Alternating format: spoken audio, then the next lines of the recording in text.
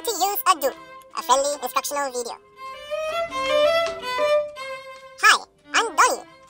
I'm going to show you how to use a toonacan. Not that tuna can, silly. This is a toonacan. It's 1 meter in diameter. This one's a Royal Sailor, but there are many, many more colors to choose from. Let's get it started. Place the toonacan flat on the floor. Then sit yourself on top of the toonacan. Pretty much like a cupcake. Next, sit tight and wait for the cuddle. Wait for it.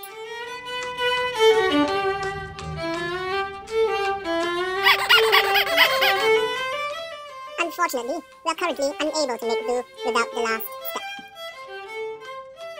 As a result, you might find it difficult to get yourself out of a toonacan. This position is called the cockpit. First, lay the toonacan on its edge. Then, push down on the 10 or 2 o'clock position of the toonacan to create a depression for your back. Wiggle your butt into the depression and wait for the cuddle.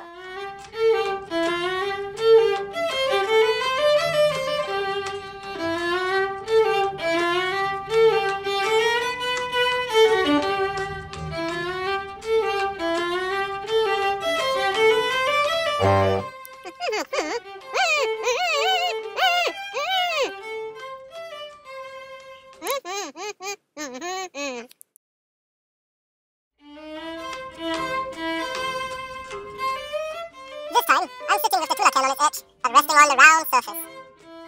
Adjust the angle of the tuna to your preference. There are other ways to use the can. You can hide under it or ride on it. But no matter what position you adopt, it's very important to wait for the cuddle. As you can see, I can barely contain my excitement. Well, that's all. Hmm?